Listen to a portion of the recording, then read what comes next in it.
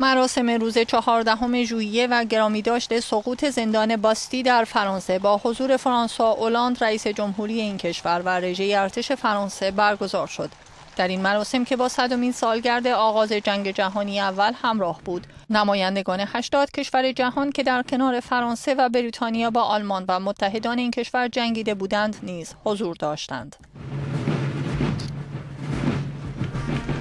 الجزایر یکی از کشورهایی بود که به این مراسم دعوت شده بود. حضور پرچمدار این کشور در رژه نظامی چهاردهم ژوئیه با اعتراض حزب راست افراطی جبهه ملی فرانسه و همچنین سازمان ملی مجاهدین الجزایر همراه بود. در این رژه یگانهای مختلفی از نیروی زمینی، دریایی و هوایی فرانسه قدرت نظامی خود را به نمایش گذاشتند روز چهاردهم ژوئیه سال 1789 معترضان به پادشاهی لویی شانزدهم.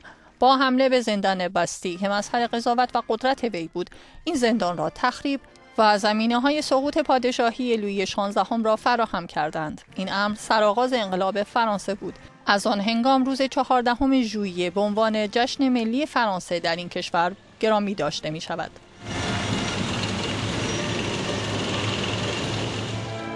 همه ساله برای این روز موضوعی انتخاب می شود و موضوع انتخاب شده برای چهاردهم ژوئیه 2014 به مناسبت صد سالگی جنگ جهانی اول جنگ و صلح بود.